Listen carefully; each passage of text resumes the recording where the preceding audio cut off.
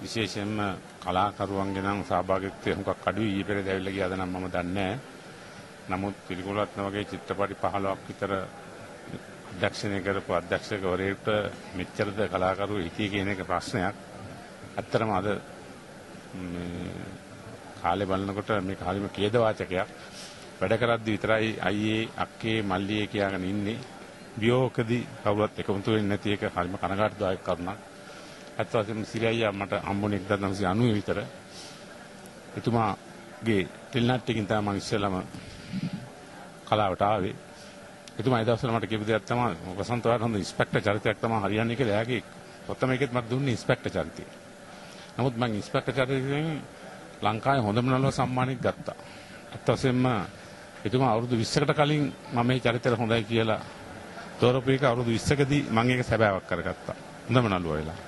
ඇත්තටම සිරි අයියා මතු සංසාර බයේ නැවත නැවත හම්බෙන්න කියලා ප්‍රාර්ථනා කරමින් සිරි කුලරත්න කුරුණෑගල අතුගල්පුරෙන් බිහිවෙච්ච සුවිශේෂ අධ්‍යක්ෂකවරයෙක්.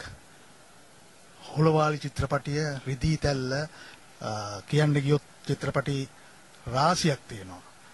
මනුස්්‍යයාගේ හද බැඳගත්ත චිත්‍රපටි නිෂ්පාතකවරයෙක් සහ අධ්‍යක්ෂකවරයෙක් මොහු. නමුත් මොහු කළ සේවය මොකක්ද කියන එක දන්නේ අතලොස්සයි. අද එතුමගේ අවමංගල්‍ය උත්සවය. කලාකාරයෝ කුරුණෑගල දෙතුන් දෙනෙක් හිටිය මෙයා අත දුන්න කොළඹ වැහි වැහැලා හිටපු නල්නෙලියෝ ඉන් කීප දෙනයි පැමිණියේ. අනිත අමතක කරලා දාලා. ඒ වගේම තමයි මේ වගේ කලාකාරයෙකුට අපේ රජයෙන් මොනවද කෙරුවේ?